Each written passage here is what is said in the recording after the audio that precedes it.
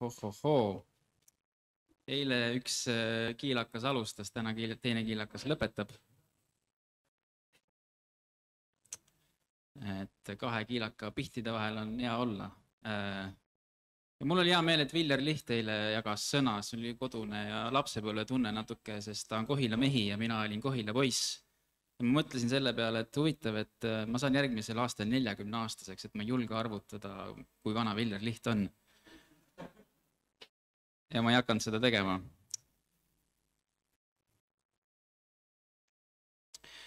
ma püüan kätte saada seda, mille pärast Kristus Jeesus mind on kätte saanud. ma sirutan eesoleva poole, sihtmärgi poole, üleva võiduhinna poole. ma arvan, et need Philippi kirja read on väga tuttavad meile, ilmselt nende peale on ehitatud nii mõnigi motivatsioonijutlus. et nüüd, vaat nüüd läheme sihtmärgi poole aga mina ei taha justkui nagu otseselt motivatsioonikõne pidada, ma tahan juhtida su tähelepanu sellele, mida ta kätte saada igatses. sest ta ütleb sealsamas ära tunda teda, teda ja tema ülestõusmise väge. ja kuidas, kui me vaatame Philippi kirja algust, siis ta räägib kogudusele, ma tänan Jumalat iga kord, kui ma teid meenutan. igas oma palves tehes rõõmuga eestpalvet ma palvetan, et teie armastus üha enam ja enam kasvaks. on üks väe kättesaamise viis, mida Paulus tundis ja mis äh, läbis tema kirjutisi, see on palve, see on lihtne asi. lihtne asi, milleni on vahel nii keeruline jõuda. lihtne asi, milleni on vahel nii keeruline jõuda, ma ei tea, miks. minu vanaisa oli ka Kohila mehi ja ta oli selline huvitav mees, et ta ei küsinud, kas sa õuna tahad, ta tuli su juurde, hakkas viilutama ja loopis sind sellega ja midagi, millegiga ta loopis veel, teinekord ta tuli ja siis ta hakkas äh, tsiteerima luuletusi või laulis või midagi. ja üks huvitav asi, et vanaisa tsiteeris aeg-ajalt ühte luuletust, see on Deborah Vaarandi luuletus ja siis ta paar esimest rida ainult, ma arvan, et tal ülejäänud ei olnud peas. aga mõnes mõttes nagu palve, ta ütles, astusin lihtsate asjade juurde, toetusin lihtsale heale. siis, kui umbsete mõtete paine tinana vajus mu peale kõndisin armsama heleda meele otse kui käsi puu najal, kuulates kevade hääletut sündi kibedal kahtluse ajal. kuulates kevade hääletut sündi, toites tihaseid aknal, rännates mööda raamatu lehti, kannatlik, mõtlik ja vakka, määrates uuesti enese piire, enese seinu ja lage, teades, et keeruka, raske ja kalli elu eest ära ei page mulle rõhuliselt emotsionaalsed deklamatsioonid ei istu, sellepärast andke mulle andeks see rahulik tõlgendus. selline proosaline. aga see ongi elu. Äh, see luuletus on nii eluline, mulle tundus, et see kirjeldab vaimuliku töö tegijat. keegi on kutsunud ja sa lähed nagu mööda käsipuud armsama hääle peale ja toidad oma tihaseid seal koguduses ja rändad mööda pühakirja lehti ja väga selgelt tajud enese piire ja lage. uuesti vaatad, kui piiratud sa oled. ja sul on armastus millegi vastu, mis käib üle jõu. ja elu eest ära ei page. tee või tina. või nagu räägiks Paulusest. kuulates kevade hääletut sündi kibedal kahtluse ajal usk on loodetava tõelus, tõelisus, hääletu kevade sünnitunnistus kirjutan piiblit ümber, andke andeks. siin ma seisan ja teisiti ei saa. üks asi, mis Paulusel oli väga-väga-väga Jeesuse moodi, oli see, et tema otsis ühendust isaga. seda lihtsat ühendust isaga. ja see kujundas tema elulugu. see avas ta südame silmi. Paulus teadis, et Jumala käes olemine on tema väes elamine. Jumala käes olemine on tema väes elamine. käesolek on väesolek sedakaudu, kust püha vaim liigub ja muidu ega sa ei tea, kui sa ei palveta. see on huvitav, et Viljar eile rääkis sellest, et kui palju me teisi taga räägime. viiskümmend seitse minutit päevas on see keskmine, eks ole. ja teadmata, mida tema siin rääkima hakkab, mitmed-mitmed nädalad tagasi ma mõtlesin, et, et võiks teha ühe asja, et distsiplineeritult palvetada. Õnneks on allika koguduses väga vähe liikmeid nelikümmend kaks, mina nende seas. ja mõtlesin, et üks minut igale ühele, nelikümmend kaks minutit. täitsa tehtav, peaaegu kolmveerand tundi. mõtlesin Saalemi koguduse pastoritele, et kaks pool tundi mõlemad Tartus. et saab põlved päris mustaks. ja siis ma mõtlesin, et, et mõnes mõttes ma olen allikale just tulnud, ma alustan ja ma natuke luuran nagu Nehemia ümber Jeruusalemma müüride ja ma pean ülevaate olema, et kus, mis seis on. ja ma pean Jumalat küsitlema üle kuulama ja siis mõtlesin, okei okay,, ma siis teen seda ja panen kella, kella käima ja palvetan igaühe eest. ja nagu me eile kuulsime, et see meeldib Jumalale, kui me eestpalveid teeme ja teate, ma sain aru, et ah, Jumalale meeldib. ta on nagu oleks oodanud, et oota, millal see välja me paluma hakkab nende inimeste pärast. Ja hakkas tulema asju. palvetasin ühe naise pärast ja kirjakoht kogujast saada talle saada talle, et mõtle oma loojale oma nooruspäevil, enne kui tulevad kurjad päevad ja jõuavad kätte need aastad, mille kohta sa ütled, need ei meeldi mulle ja mõtlesin, ma ei julge talle saata seda, ma tean, et tal on praegu need aastad käes, mis talle ei meeldi. aga midagi teha ei ole. Jul-, julgustasin, kuule, mul on kogujast sulle julgustav kirjakoht. Ja ta ütles, et koguja mu lemmik. aga ma ei teadnud seda. ma ei teadnud seda. kellegipärast jumal, ma kogesin, okei okay,, ma pean talle helistama ja lihtsalt vestlema temaga. palvetasin ühe naise pärast, kel on kolm poega ja, ja siis ma ütlesin talle, et tead, jumala süda rõkkab su pärast, su poiste pärast ja ma tundsin, kuidas jumal võtab midagi nagu tagasi. sest ta on praegu kogudusest natuke eemal, ta on usklikust perest pärit. Ja ma kuidagi, ma tundsin, et minu südame silmad nägid kahekümne aasta taha. et jumal teeb midagi nende poiste kaudu, jumal võtab tagasi midagi. kui ma ei oleks palvekambrisse läinud, ma ei oleks seda teada saanud. kujutate ette, Paulus, ta oli vangis eks ole, üsna mitmel, mitmel korral oma elus. mis ta seal ikka tegi, palvetas ja oma südames ta nägi nii palju asju. meie probleem on see, et me oma ihusilmaga näeme kogu maailma täna ja see hirmutab meid. Võime Armeeniasse vaadata ja Türki ja USA-sse ja kus iganes ja silmad on lahti. meil on natuke vaja vangistada ennast vist, minna peitu, nii nagu Jeesus ütles. koroona jah, aga pane Facebook ka kinni üks minut palvet, erinevad tunnetused, teemad ja korraga ma mõtlen, ma olen ju pastor, ma ei, ma ei tea essugi, vabandust, sellest tööst. aga näed, jumal annab. Tallinnas on üks pastor, keda hüütakse puujalaga toru. puujalaga toru. see mees istub siin, Veiko Võsu. ta ei tea, et tal sihuke hüüdnimi on, aga minu jaoks on. aga see on sellepärast, et tema on ka öelnud, et nagu et äh, mina ju ei tea, mis teha, aga ma võin olla sõnumitooja. kui te tahate sellist meest, et ma niikuinii olen puujalaga pastor, ei tea, lonkan natukene. aga võin olla see toru, anda edasi, mida me oleme Jumalalt saanud. ühendust võtta Jumalaga, aga mitte inimestega, see on poolik töö.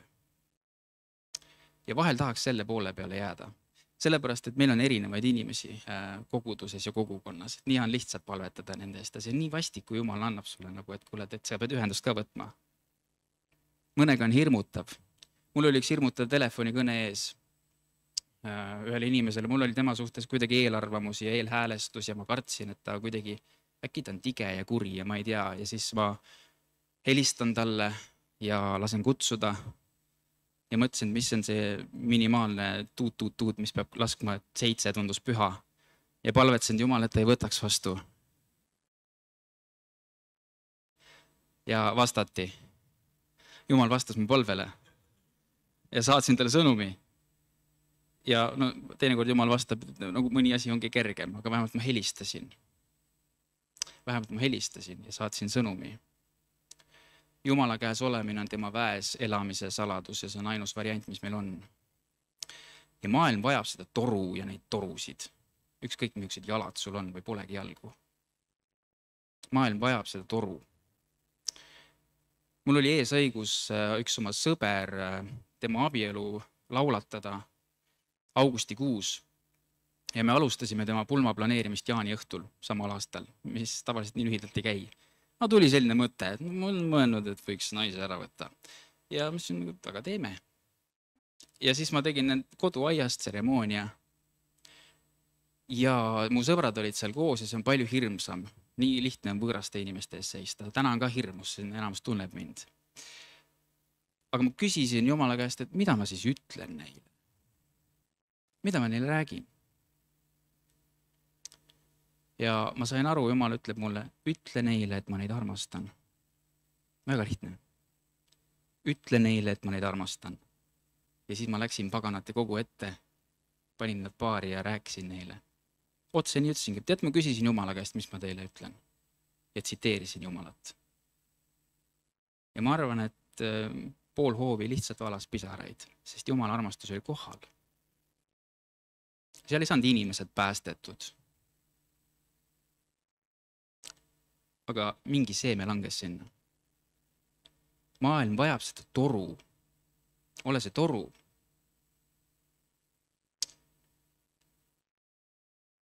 tegelikult see lugu hakkas veel varem. eelmine jaanipäev sellest pulmaplaanist, seesama sõber tegelikult tuli minu kõrvale lõkke äärde ja ta ütles, et kuule, sul on ju ühendus kõrgemate jõududega. Ma ütlesin, on küll jah, et mis sa tahad mis sa tahad, et ma sulle teeksin? ja ta rääkis oma mure ära. ja sealsamas lühidalt, isegi mitte kolm-neli lauset, sest noh, sa ei julge. ja mittekristlastel on kuidagi, jube hea on lühidalt palvetada. kaks lauset, emotsionaalselt mul ei olnud mingit usku.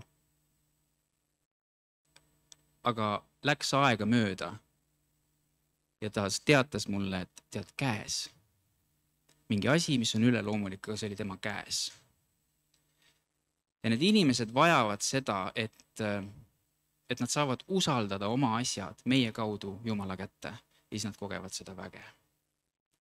ja sellepärast oli nii tähtis, kui ta abiellus, öelda mulle, et Jumal armastab teid, et ta teaks, et see, mis ta sai, on armastuse pärast, mitte lihtsalt niisama. see on suur kingitus inimesed teavad, et Jumal on vägev väljaspool kogudust ka. ja teinekord see Jumala vägi on nende jaoks nagu natuke vaenulik sõjavägi. sa satud tule alla. mosaik kogudusse tuli üks naisterahvas, kes ütles, et ma aastaid ei julgenud kirikusse tulla, ma kartsin, ma lähen põlema. päriselt inimesed kardavad, et nad lähevad põlema mõlemad, äh, mõned. milline pühaduse sees inimeste sees tegelikult on, kui nad ei julge kirikusse tulla ja kes läheks nende juurde, ütleks, et teate, et patt põleb ära, sina saad puhtaks. kes meilt läheks? ma hiljuti kuulsin ühte lugu, kus öeldi, et kaheksateist aastat paluti, et tuleks ärkamine. kaheksateist aastat ja siis tuli ka ja see on vägev lugu, see on hästi tore lugu. ilmselt kusagil Eesti saarel jälle, ma ei tea. ja mul on kiuslik mõte selle juures et võib-olla Jumal äratas juba kaheksateist aastat kedagi, et tõuse ja mine naabrimehe juurde. paluda äratust on töö jätmine poole peale, kuulata Jumala äratust, et tuleb minna, see on teine pool. äkki me oleme vahel Jumala vastus, mis jääb kaheksateist aastat hiljaks. ma ei tea, Jumal on pika meelega. see ei tähenda, et ta oleks pikaldase mõtlemisega. ja ta jagab meiega oma mõtteid Jesaja ütleb, ta äratab mu kõrva, et ma kuuleksin õpilase kombel. ja Jumal ütleb sealsamas, minu mõtted on kõrgemad kui teie mõtted ja vahel me mõtleme, et okei okay,, me ei saa niikuinii pihta sellele. aga teate, mis juhtub palves, me tõuseme sellele kõrgusele, kus tema elab. kes iseennast alandab, seda ülendatakse. see on meile kättesaadav lainepikkus. meie peale, peame olema kättesaadaval madalusel Jumala jaoks alanduge siis Jumala võimsa käe alla, et tema teid ülendaks õigel ajal. teate, see inimene, kellele ma kartsin helistada, see helistas tagasi. helistas mulle tagasi. ja mul oli hirmus ja ma võtsin vastu ja korraga kostab rõõmus hääl. ta oli nii rõõmus ja ta seletas, miks ta ei saanud vastu võtta mu kõnet, ta oli kuidagi ähmi täis ja tänulik ja vadistas. ja see oli täiesti vastu minu ootusi. ja ma panin toru ära, toru, vanakooli mees. panin toru ära, ära ja panin põlved maha ja olin lihtsalt natuke aega vait.